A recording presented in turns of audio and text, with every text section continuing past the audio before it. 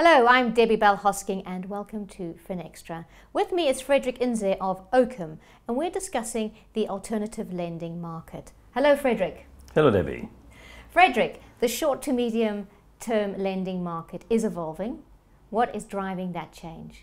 The need and expectation of consumer are still about being able to be accepted for a small amount of money, uh, no application or very short application form with quick decision.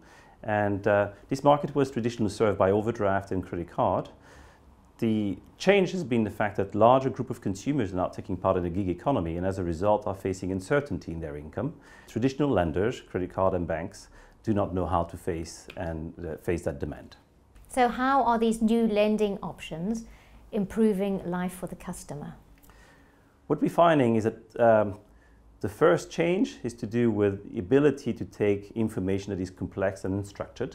And we're seeing a model that are much more about exchange of information with consumer. And you know, you're seeing, for example, lenders that are taking into account uh, your data on Facebook, you know, versus just your credit report. The second change has been the fact that uh, more and more consumers want to be able to access the solution at the touch of a button on their smart smartphone. And the third change is the fact that consumers want to be in the driving seat.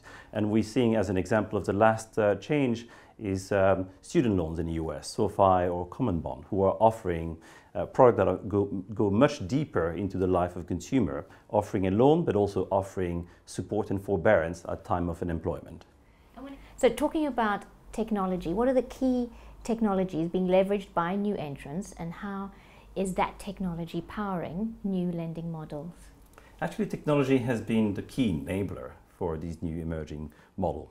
Um, new entrants can benefit from, number one, the ability to create distribution without having the huge fixed cost traditionally linked to this to distribution of financial service. So smartphone is the key solution to distribution. Second one is the ability to gather and process data and much larger set, much more structured set of data than before. This is changing the, the credit scorecard model and inventing new ways to underwrite consumer.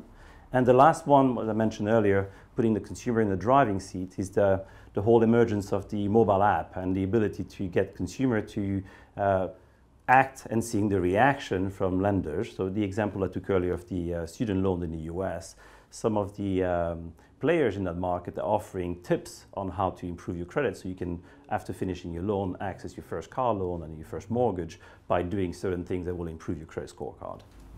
Frederic, thank you so much for your insight on the alternative lending market. Thank you, Debbie. And thank you for watching.